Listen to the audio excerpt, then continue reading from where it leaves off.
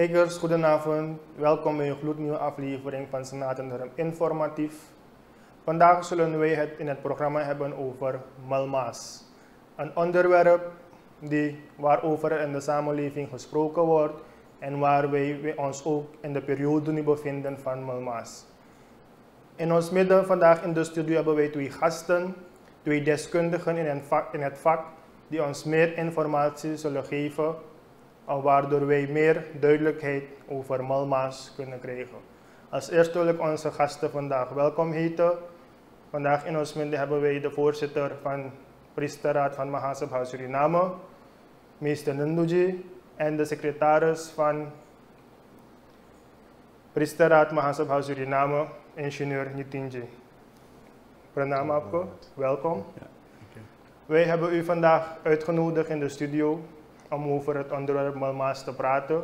Wij bevinden ons nu in de periode van Malmaas en wij willen een beetje daarover gaan praten, waardoor er meer duidelijkheid is en waardoor de samenleving, de kijkers, weten wat Malmaas is en wat men mag en niet, wat men mag en niet mag doen. Als eerste, Pandiji, um, Nitinji, ik wilde graag weten, wat is Malmaas precies? Want als we naar het woord luisteren of horen Malmaas, mal, vis, maas, vlees, is het, heeft het iets daarmee te maken of zijn we helemaal verkeerd? Is het weer wat anders die, waar, we, waar we bedoelen met Malmaas? Ja, um, dank u wel uh, Randhirji, um, uh, geachte kijkers, uh, luisteraars. Um, ik wil u natuurlijk bedanken en Sanatan TV voor de geboden gelegenheid om dus dan wat verheldering te brengen over Malmaas. Om te beginnen, de Vedische astrologie uh, en ik denk ook de Gregoriaanse astrologie, uh, die kennen twee maanden. We hebben zonnemaanden en we hebben maanmaanden. Ja? De uh, zonnemaanden, die worden dus dan bepaald op basis van de standen van de zon. En de maanmaanden, die worden dus dan bepaald op basis van de schijngestalten van de maan ten opzichte van de aarde. En um, als we dus dan dat precies zouden uitleggen, dan duurt een één zonnemaand ongeveer 30 dagen, 10 uren, 29 minuten en 5 seconden. Terwijl een maanmaand ja, duurt ongeveer 29 dagen, 12 uren, 44 minuten en 2,8 seconden. U merkt dus op dat er een verschil optreedt tussen een zonnemaand en een maanmaand. En het verschil is ongeveer 21 uren, 45 minuten en 2,2 seconden. Wat gebeurt er dan als gevolg van dit verschil na ongeveer 32 maanden, 16 dagen, 1 uur en 36 minuten? Er ontstaat ja, als gevolg van het verschil, dit verschil in tijd, een extra maand. En deze extra maand noemen wij binnen de Vedische astrologie Malmaas. Ja, u zegt inderdaad mal, dat betekent onrein en maas betekent dus dan uh, maand. En daar wil ik dus dan direct terug op komen. Um, uh, toen Brahma de wereld schiep, ja, dan was er nog geen malmaas. Er was nog geen extra maand. Ja toch? Als je vandaag bent begonnen om de wereld te scheppen, na die 32 maanden, 16 dagen, 1 uur en 36 minuten, ja, um, bleken, dus dan kwamen we in aanraking met dus dan deze malma's. En wat gebeurde dan? De twaalf bestaande maanden, die waren dus dan uh, gerelateerd aan twaalf goddelijke aspecten. Deze twaalf maanden kregen twaalf namen van Bhagwan, van God. En toen deze extra maand, die malma's dus dan, uh, zeg maar, uh, ontstond, wilde niemand in deze maand ceremonieën, rituelen, etc. verrichten. En, um, en, en, natuurlijk uh, hoorde er ook geen goddelijk aspect bij. Toen ging deze maand, ja, Malmaas, uh, die begaf zich naar Bhagavan Vishnu en zei dus dat ik heel erg angstig ben en verdrietig ben. Want geen enkel devoot wil tijdens deze schrikkelmaand deze extra maand, deze malmaas, rituelen uh, verrichten, helpt u mij. En toen begaven Bhagavan Vishnu en deze malmaas zich bij Bhagavan Shri Krishna. Ja, En toen heeft Bhagavan Sri Krishna gezegd, ik zal u mijn naam geven. Dus Malmaas werd dan toen verheven van die tussen aanhalingstekens onreine maand naar Purushottam Maas. Ja, dit is vernoemd dus naar Bhagavan Sri Krishna, waarin juist rituelen, ceremonieën, offers, gebeden ten ere van Bhagavan Sri Vishnu en Sri Krishna aan te bevelen zijn. Dus als ik u goed heb begrepen, dan is het niet iets van vandaag. Het is het is natuurlijk, het is iets uh, vanaf de schepping. Vanaf de schepping. En, en om de drie jaar hebben we dan zo. Om de, dus exact uh, 32 maanden, 16 dagen, 1 uur en 36 minuten. Exacter 2 jaren, 8 maanden, 16 dagen en 36 minuten. Dus laten we zeggen ongeveer, ongeveer 3 jaar. Drie jaar. Ja.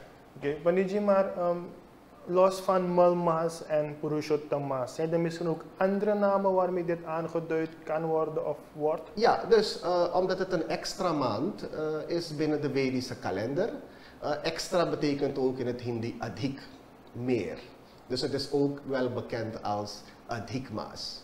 Ja, dus Malmas, oftewel adhikmaas, en natuurlijk verheven naar Purushottam maas. Ja? Purushottam wil zeggen degene die het hoogst staat onder de mensen. Ja, en vandaar dus dan de relevantie van deze maand waarin wij dus nu zijn. Oké, okay, Pandit Nanduji, ik heb ook een vraagje voor u. Um, wat mag men allemaal in deze periode doen en wat niet?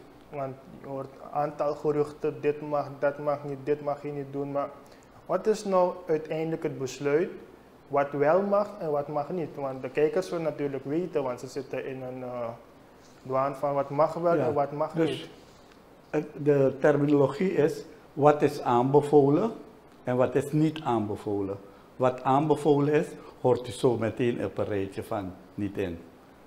Ik wilde graag van u weten, als u graag een beetje in details kunt treden, waar de kijkers ook kunnen weten van wat ze wel en niet mogen doen in deze periode.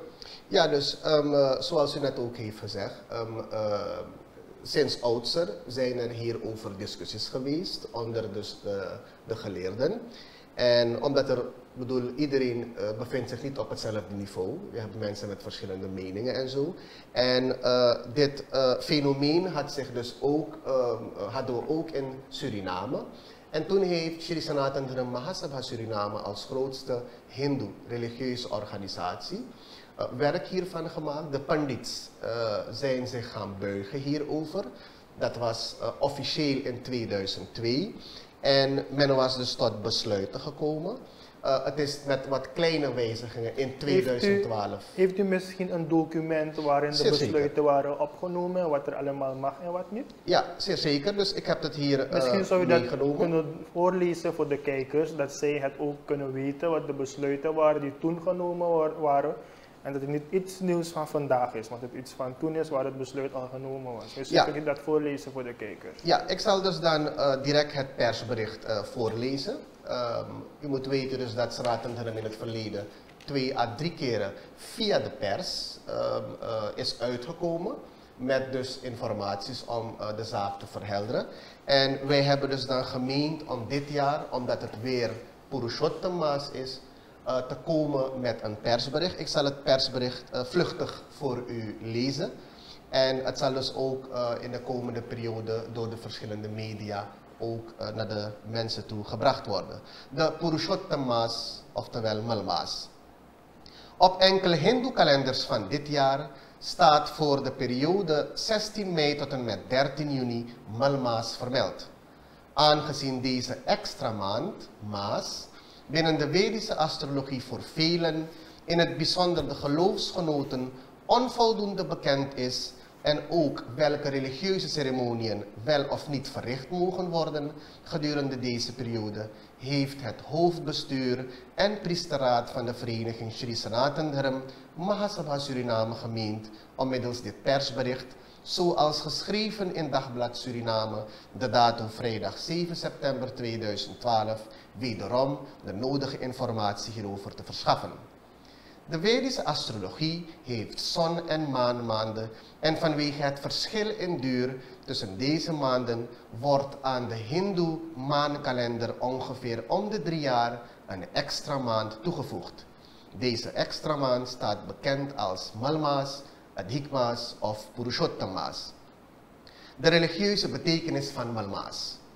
Aanvankelijk bestond volgens de heilige hindoe-geschriften het maanjaar uit slechts twaalf maanden waaraan twaalf verschillende deotas, oftewel goddelijke aspecten, werden gerelateerd. De dertiende maand werd aan geen enkel goddelijk aspect toegewezen. Er werd bovendien aangegeven dat gedurende deze periode geen enkele religieuze activiteit, oftewel ceremonie, verricht mochten worden. Malmaas voelde zich verdrietig en benaderde God Vishnu en gaf aan dat geen enkel deelte aan hem werd toegekend en om die reden als Malmaas, ongunstige maand, werd aangeduid. Malmaas vroeg of er inderdaad geen enkel ritueel gedurende deze maand verricht mocht worden en zei verder tot Sri Vishnu, ik ben angstig en zoek mijn toevlucht tot u. Bhagavan Vishnu ontfermde zich hierover en ging samen met Malmaas naar God Krishna, die zichzelf als Purushottam, oftewel de hoogstaande, aan de dertiende maand aanwees. Sindsdien staat deze maand dan ook bekend als Purushottam Maas. En Purushottam is een van de oneindige namen van Bhagavan Sri Vishnu. In onder andere het heilige boek Purushottam Maas Mahatmya zijn de vele religieuze betekenissen van deze maand uitvoerig beschreven. In gevolge de geautoriseerde, orthodoxe en authentieke geschriften is de Malmaas dus verheven tot Purushottammaas en heeft derhalve een zeer gezegend karakter waarin juist rituelen en gebeden ter ere van Heer Sri Vishnu en Sri Krishna sterk worden aanbevolen. Het bovenstaande wordt dus ook vanzelfsprekend door de hoogste religieuze erkende autoriteiten in India, te weten de Shankaracharya's, gedeeld. De gedurende deze maand gehouden vele religieuze activiteiten in India zijn hiervan het bewijs. De accumulatie van de heilige maand Ramadan met de Purushottamma's zorgt ook voor meer zegens die ons geliefd Suriname nodig heeft. Weliswaar zijn er een paar rituelen die als gevolg van technische aspecten niet in deze periode mogen plaatsvinden te weten. Dus om even in te komen, de normale katha, jhandi, durga paat, dus wat een normale hindoe gewend is thuis te doen, ja, in het kader van een verjaardag of welke activiteit dan ook, ja, met een pandit, ja, die mogen normaal voortgang hebben gedurende deze maand. En wat niet gedaan mag worden vanwege technische aspecten, dat zijn één, de kamyakarmas. Dit zijn rituelen ter verkrijging van een speciale gunst, omdat deze niet nodig zijn vanwege de automatisch verkregen positieve vruchten tijdens de Purushottamma's. 2. Deelpratishtha, inwijding van murtis, de goddelijke beelden. 3. Vivaha sanskar, huwelijksceremonieën. 4. Munden sanskar, rituele plechtigheid ter gelegenheid van het kaalscheren van het hoofdhaar van een pasgeborene. 5. Yagyopavit of Janeeuw sanskar, ceremonie tot wording van spirituele leerling. 6. Griha het betrekken van een andere of nieuwe woning. En 7. Grote privé yagya, oftewel een ritueel. Uitdrukkelijk wordt gesteld dat alle rituele plechtigheden conform het voorgaande die plaatsvinden tijdens de Purushottamma's volgens de hindoe-heilige geschriften correct zijn en zeer zeker hun positieve vruchten zullen afwerpen. Er is derhalve geen aanleiding tot twijfels.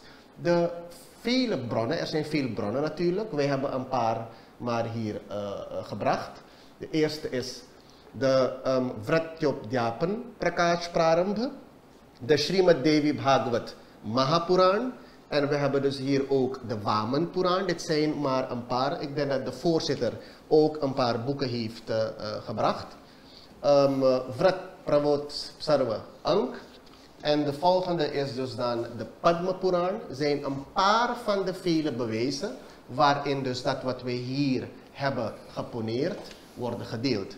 Dus uh, hier hebben we dus in het persbericht de Purushottam Maas Mahatmya, de Sri Krashi Vishwanath Panchang, de Sri Brihanara Diya Puran, Vrat Parva Ang, etc.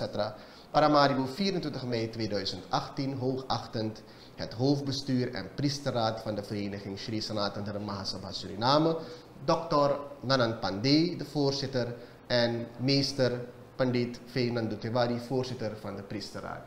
Dus ik denk dat uh, middels dit persbericht het meer dan duidelijk is wat de mensen uh, mogen doen en wat ze niet mogen doen. Okay, u heeft net aangegeven in uw persbericht dat het besluit is genomen door Senaat en Mahasabha Suriname. En u heeft ook uh, voorbeelden aangehaald in India, dat er ook daar zaken gedaan worden gedurende de Malmaas. Maar tijdens dit besluit hebben jullie ook deskundigen van het buitenland meegenomen als we kijken naar Nederland, India? Of zijn het alleen maar deskundigen van Suriname die dit besluit hebben genomen? Als Sanatandara Mahasabha Suriname, als grootste hindoeïstische religieuze organisatie, hebben wij vanzelfsprekend contact met het buitenland. We hebben contact met Trinidad, we hebben contact met Guyana, we hebben contact met Nederland, we hebben contact met India, etc.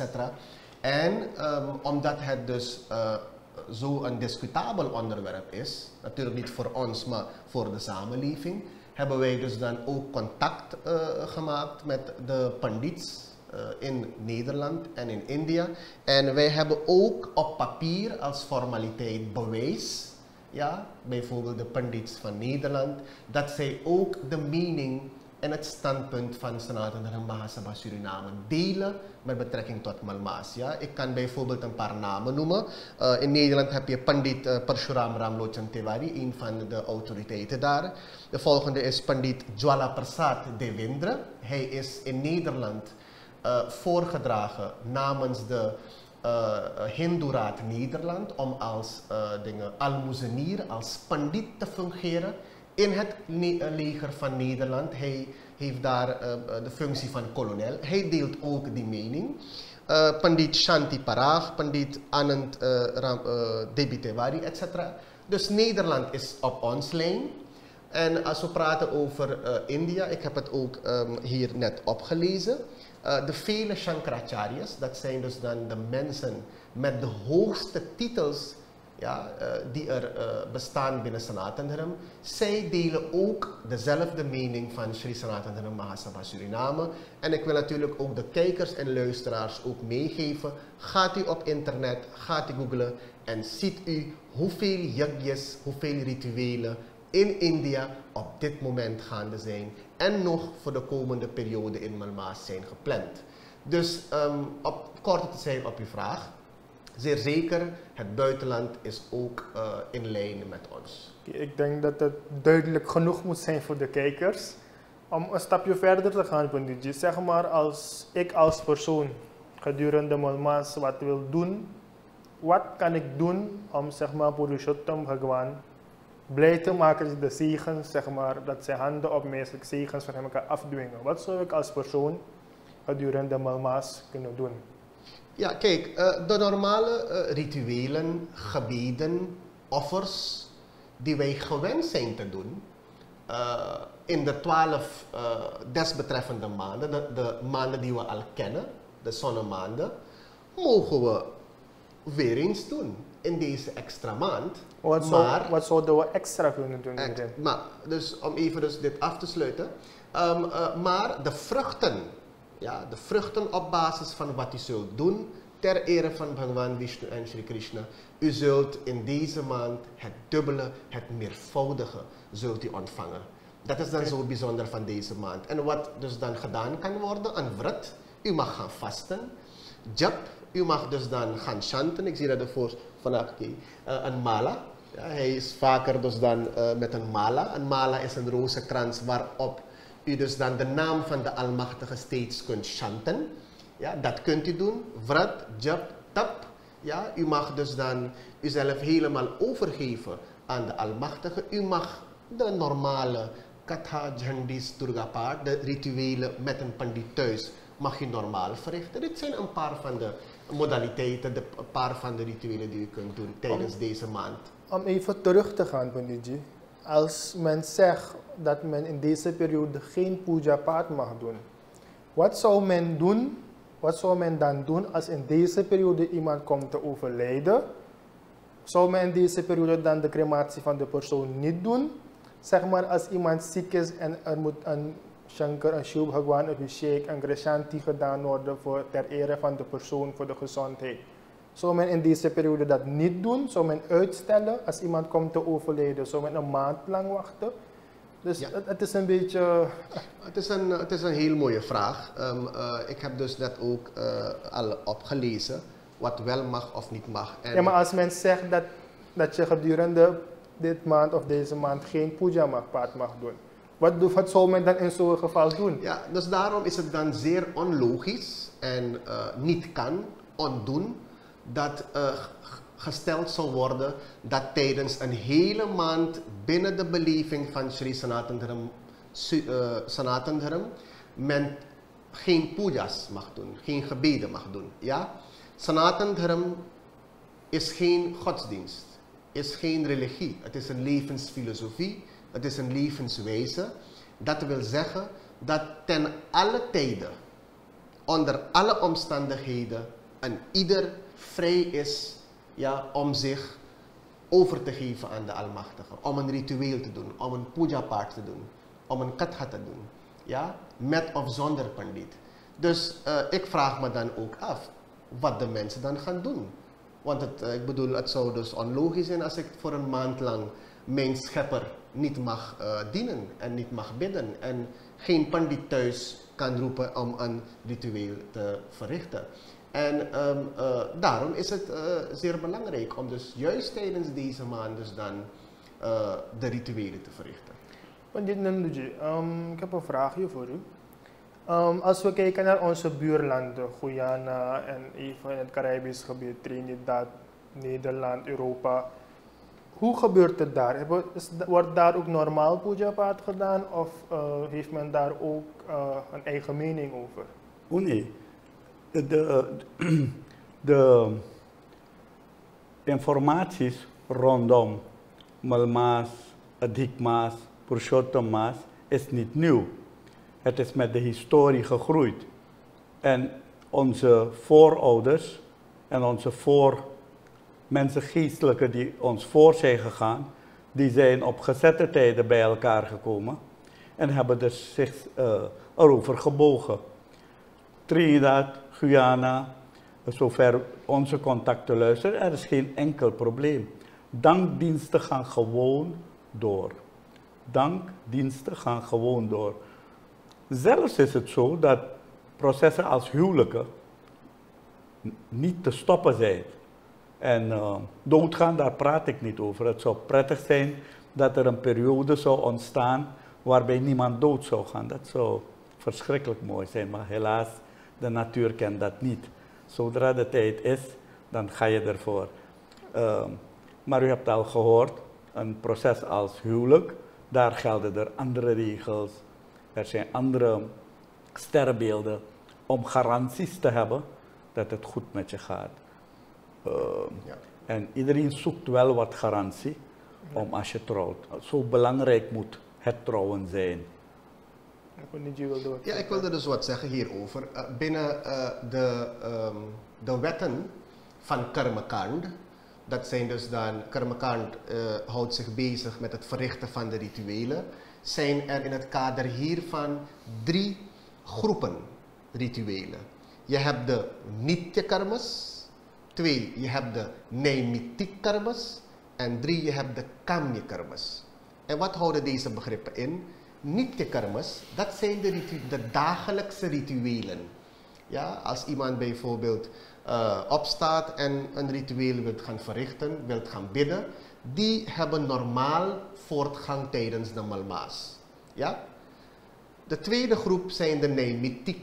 Naimitik karmas, oftewel de rituelen, zijn die offers, die gebeden, die worden verricht om bijvoorbeeld een zieke te helpen. Bijvoorbeeld als iemand ziek is en zegt van, Pandit, ik wil u thuis roepen om voor mij te bidden, ja, zodat ik word verholpen van mijn leed. Dat mag geschieden tijdens Malmaas. Net als de normale kathas. U bent jarig bijvoorbeeld. En u tijdens deze periode en u wilt een katha doen. Ja? dat, uh, dat mag. Ja. En de laatste groep karmas, dat zijn de kamya karmas. Wat ook hier in het persbericht is genoemd. Dat zijn de rituelen voor het verkrijgen van speciale gunsten. Dat mag u wel niet doen. Dat u zegt van goed, uh, uh, ik wil wat verkrijgen, iets speciaals verkrijgen tijdens, en dan gaat u iets speciaals dingen. Nee, omdat tijdens deze periode, tijdens Malmaas periode, of Purushottammaas, wat het is verheven naar Purushottammaas, ja, u automatisch deelgenoot wordt van de vruchten ja, van uw handelingen. Want je zou dit niet maken dat de samenleving in een twijfel raakt, want dat komt vaker voor dat er verschillende meningen zijn van mensen en dat de mensen in een twijfel raken en dat ze overstappen tot een andere geloof. Zou dit misschien een reden zijn, volgens u? Ja, Nee, nee. Het is gezond wanneer meningen botsen. Maar uiteindelijk is er maar één weg naar, het hele, uh, naar, naar, naar de oplossing. Er is maar één weg naar God. Dat meningen botsen, dat moet gezond zijn. Oké, okay, Bandiji, um, wij hebben in de van de media vernomen dat er heel binnenkort dat een stichtingenorganisatie een vergadering gaat beleggen om een uh, besluit te nemen omtrent Mulmaas. Wat is uw mening hierover? En, um, kijkt u, het is, in Suriname is er democratie. Iedereen kan vergaderen. is leuk. Ja. Ziet u alle boeken? Ze zullen alles lezen. En uiteindelijk tot het antwoord komen, omdat het nu eenmaal een gegeven is dat 1 maal 1 1 is en 2 maal 2 4 is. Een andere antwoord, welke wiskunde je ook zet, is niet mogelijk. En het, op de universiteit heb ik geleerd, al draagt een uil een gouden bril, of wat baat een kaars en bril, als een uil niet lezen wil. Dus wat dat betreft zijn wij gewoon hard. Maar als er een ander besluit wordt genomen, wat, wat in zo'n geval? Ach, in deze natuur wordt er zoveel besluiten genomen. Maar u begrijpt wel, een besluit van het gezag, dat is weer iets anders. En het gezag zit voor ons, onze boeken, onze voormensen. Ik uh, ben ervan overtuigd dat alles gedaan is, zij tot dezelfde conclusie komen waar wij staan. Ja, ik zou ook, en Junior uh, ik heb ook dezelfde vraag voor u. Ja. Als, we wilden graag weten wat uw mening is omtrent de vergadering of de, die bijeen is geroepen van de organisatie. Ja, kijk, we leven in een democratisch land en um, het is uh, het recht van iedereen om te mogen vergaderen en zich neer, om zich uh, te buigen over bepaalde vraagstukken. Dus uh, vanuit Sri Sanatana Mahasabha Suriname uh, hebben we geen moeite mee. Het, uh, mag. Mensen mogen bij elkaar komen en zaken naar voren brengen. Maar het punt is, voor wie zullen de besluiten genomen worden?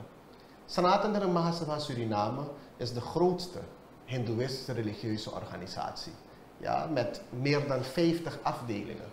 Met zoveel pandits resorterend onder hun. En um, de instructie naar de mensen toe, naar de pandits toe, is duidelijk. En um, uh, hieraan moet er gewoon gevolg uh, worden gegeven. Dus uh, wij gaan niet aan het recht van andere mensen. En zoals de voorzitter ook net heeft gezegd, ik, zij zullen ook tot hetzelfde besluit komen. Dat is ook onze verwachting. Goed, ik denk dat allemaal een beetje duidelijk is. Om even, wij gaan zo meteen afsluiten, maar ik heb dan nog een laatste vraag voor u. Wij hebben ook gemerkt dat um, Sanatan Dharma Mahasabha samen met uh, Vishnu Mandir, de hoofdtempel aan de Koningsstraat, een yajna heeft georganiseerd. Als u misschien wat daarover zou willen vertellen, waar de kijkers um, wat meer informatie kunnen krijgen, dat zij kunnen komen, waar ze kunnen komen, wat ze kunnen verwachten allemaal. Als u de kijkers een beetje wat meer informatie daarover kunt geven. Ja, het is een verschrikkelijk mooi ding. Prachtig. Het is ook in het kader van 145 jaar immigratie. En het is net een groot geschenk voor de gemeenschap dat wij een Purushottam yajna gaan organiseren. Drie dagen lang. Het begint op één tot drie. En uh, het is groot. En het mooiste, allermooiste is, als u één bloem zet, krijgt u daarvoor tien zegeningen terug. Dat is geweldig. Als u één keer de naam van God noemt, geldt het 108 keren voor u. Dus ik denk niet, dit is een gouden kans. Dat je dat na zo lang, 145 jaar, dat wij nu op zo'n niveau kunnen zijn, dat is prachtig. En we zijn dankbaar voor al de mensen die dit georganiseerd hebben. En wij bidden dat alles goed afloopt. En we zijn ervan overtuigd, omdat het een echte jig is met eten, drinken zoals het bij ons hoort. Kijkers, heeft het gehoord allemaal van de voorzitter, van de secretaris, van de priesterraad van Sanatan Dram Mahasabha Suriname. Komend weekend, komende 1, 2, 3 juni, kijkers, is er een Purushottam Maas Yagya georganiseerd in Vishnu Mandir Koningsstraat, de hoofdtempel. Dagelijks van 6 uur s middags beginnen de activiteiten tot uitlopen tot 9 uur s avonds. Kijkers, u heeft het allemaal gehoord. De kans van uw leven om te komen, heeft het gehoord. Als u één bloem offert, u krijgt tienmaal de zegen daarvan terug. Dus kijkers, meer heb ik niet te zeggen. Ik denk u moet uw gouden kans maar pakken en langslopen. 1, 2, 3 juni aan de Koningsstraat, de hoofdtempel van Sanatan Dharam, de Vishnu Mandir. Als laatste wil ik de gasten die ik vandaag in de studio heb gehad bedanken. Want Nanduji, u bent van Sanderij gekomen. U was een van de vliegtuigen van Suriname gaan inzegenen. We zijn blij dat u toch nog tijd en moeite heeft gemaakt om langs te komen. Wij appreciëren dat. Dank u wel, Panditji. Heel graag gedaan. Dank u wel. Het was een genoegen. Pandit Nitinji, u ook. Wij hebben ook vernomen dat u momenteel docent bent op het EOL. En u het erg druk heeft, maar dan nog u wat tijd en moeite heeft vrijgemaakt om langs te komen en de kijkers wat meer informatie te geven, waardoor zij duidelijkheid hebben over Malma's Purushottamas. Dank u wel. Ja, hartelijk dank. Kijkers, u heeft het gehoord. Zo zoetjes aan zijn we gekomen aan het eind van dit programma. Wij hopen dat u met de informatie die wij van de deskundigen hebben gehad, veel meer weet en dat alle onduidelijkheid weggewerkt wordt. Dank u wel, kijkers. Ik zie u de volgende keer. Goedenavond.